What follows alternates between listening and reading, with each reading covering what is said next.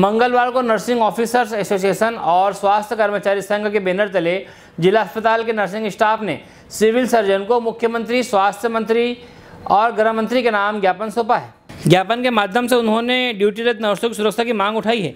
ज्ञापन ने बताया कि आए दिन अस्पतालों में नर्सों के साथ अप्रिय घटनाएँ हो रही है, जिससे कि अस्पताल में नर्सों की सुरक्षा पर सवालिया निशान लग रहा है। हाल ही में भिंडा जिला अस्पताल में नर्स नेहा चंदेल की निर्मम हत्या, मंडला नसरुल्ला सीहोर में मारपीट की घटना से मध्य प्रदेश के समस्त नर्सेस में रोष व्याप्त है।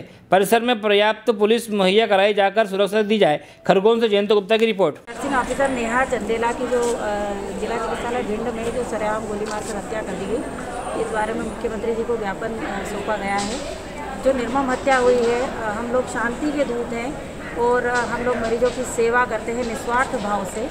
तो इस तरीके के जो घटना है, ये पैरामेडिकल या स्वास्थ्य विभाग के कर्मचारी के साथ तो ये इस प्रकार की घटनाएँ होनी ही नहीं चाहिए, जहाँ हम एक तरफ़ जान बचाते हैं और दूसरी तरफ़ हम ही गोली का शिकार होते रहेंगे। तो ये तो बिल्कुल बहुत निंदनीय है और मैं मुख्यमंत्री जी से बिल्कुल मैं निवेदन करूँगी आपके स्वास्थ्य कर्मचारी की विगत काफ़ी लंबे समय से जो ये समस्याएँ चल रही है क्योंकि आक्रोशित रहते हैं परिजन। अगर यदि आपके घर का कोई सदस्य बीमार है तो आक्रोशित रहते हैं पर उस आक्रोश का ये मतलब नहीं है कि आप किसी भी स्वास्थ्य कर्मचारी की जान ले लें।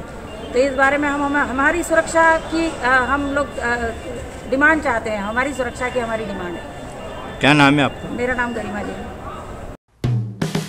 हेलो फ्रेंड्स आप देख रहे हैं हमारा channel S W twenty four news हमारे सारे वीडियो सबसे पहले देखने के लिए आप हमारे चैनल को सब्सक्राइब करें और पास में लगे बेल आइकन को दबाना बिल्कुल भी ना भूलें।